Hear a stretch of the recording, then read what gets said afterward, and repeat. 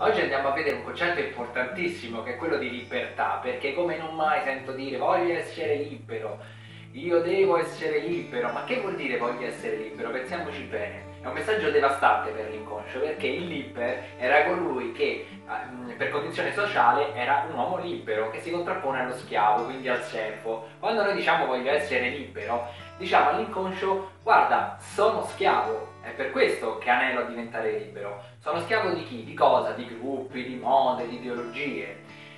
L'uomo non nasce per essere libero, ma l'uomo è libertà, cioè lui in potenza è libero di essere tutto quello che vuole, c'è una sorta di libertà quantica che lo avvolge, non so se esiste realmente questa parola ma mi piace usarla, perché noi abbiamo in potenza tutto quello che ci serve per riuscire.